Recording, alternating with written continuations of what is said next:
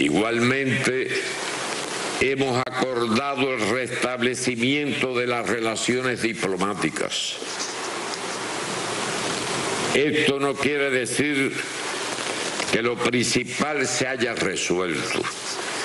El bloqueo económico, comercial y financiero que provoca enormes daños humanos y económicos a nuestro país debe cesar. Yeah. Welcome home to the Cuban Five. Welcome home, Gerardo. Welcome home, Ramon. Welcome home, Antonio. Long live the Cuban Revolution. Long live the Cuban Revolution. Yeah. Welcome home to the last of the Cuban Five. 16 years after they were thrown inside U.S. dungeons for fighting against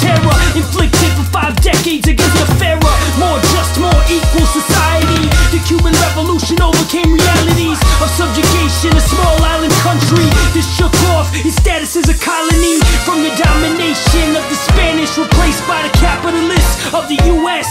Once a hub for the Miami Mafia, Americans owned most of the land and had command over what was called the brothel of the Caribbean. But after 1959, then we started seeing a shift away from the master towards asserting control over resources, poverty averting.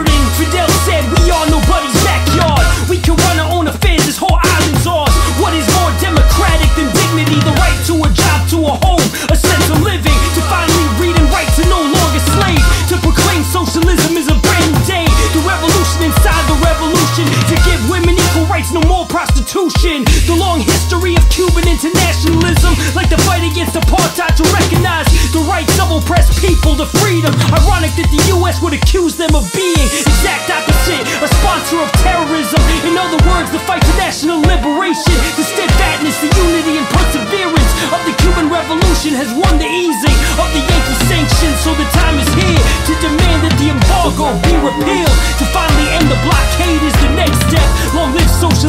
Cuba, homeland of death.